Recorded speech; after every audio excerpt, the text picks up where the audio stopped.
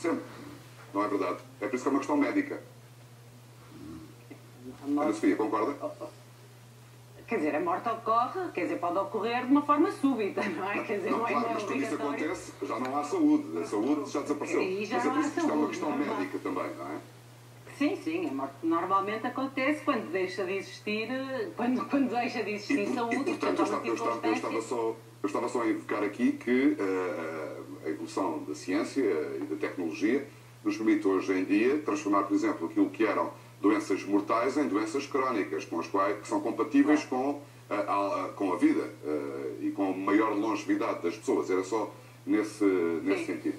Eh, para, para É, não é, dúvida. é muito.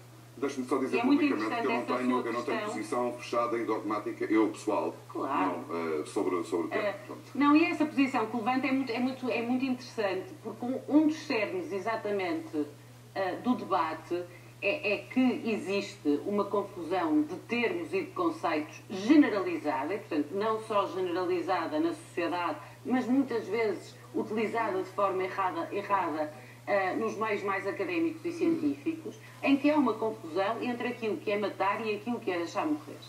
Que são duas coisas completamente diferentes. O deixar morrer é um dever ético, é um ato de coragem moral de qualquer profissional de saúde. Deixar uma pessoa que não tem circunstâncias para ter para viver muito mais tempo, porque tem um prognóstico fechadíssimo e não tem, não tem qualquer hipótese de sobreviver. eh, a- Mas isso é uma prática sobreviver. corrente na vida clínica de qualquer médico e de qualquer hospital. É corrente e é boa prática. E é boa prática. E, portanto, não se pode confundir o deixar morrer com matar.